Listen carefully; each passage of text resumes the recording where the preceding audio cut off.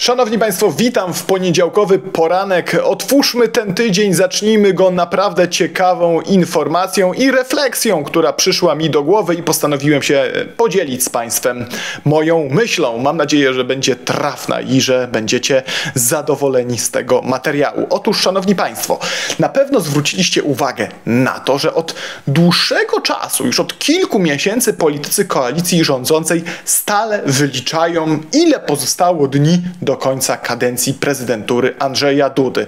A to jeszcze musimy wytrzymać 300 dni, a to jeszcze z tym Dudą, jak tam Duda skrytykuje rząd za coś, musimy wytrzymać 280 dni. A tyle, a tyle. Potem mieliśmy sejmowe expose prezydenta Andrzeja Dudy, po którym też wyliczyli, jeszcze musimy wytrzymać z tym Dudą tyle i tyle dni.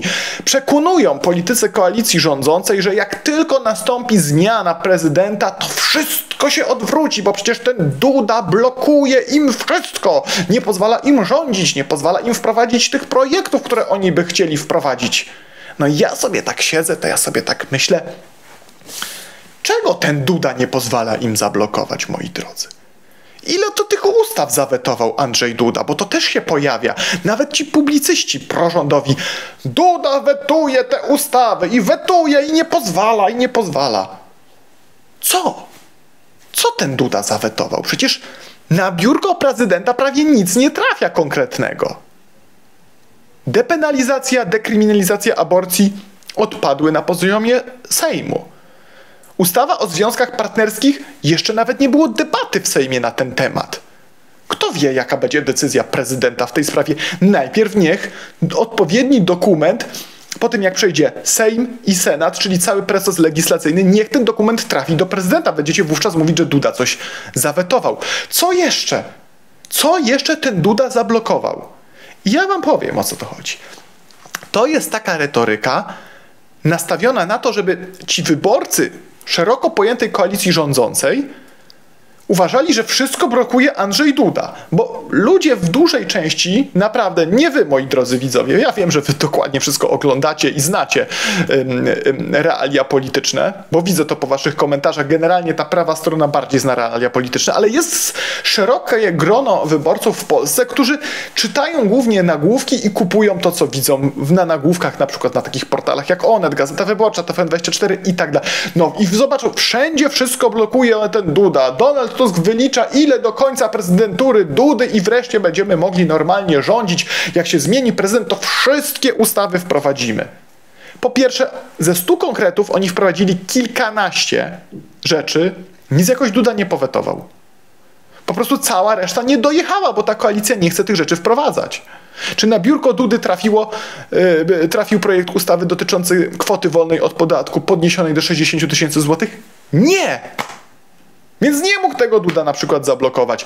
Oni wykorzystują Dudę, wycierają sobie usta prezydentem języki prezydentem, żeby zwalać na niego winę, zrzucać na niego winę, jak ten człowiek nic takiego nie zrobił, niczego nie zablokował, nie przeszkadza im w rządzeniu. Oni sami tak słabo rządzą, a Duda jest dla nich pretekstem do tego, żeby zrzucić na niego winę. Pretekstem takim, te, kimś, na kogo można zrzucić całą odpowiedzialność za własną nieudolność.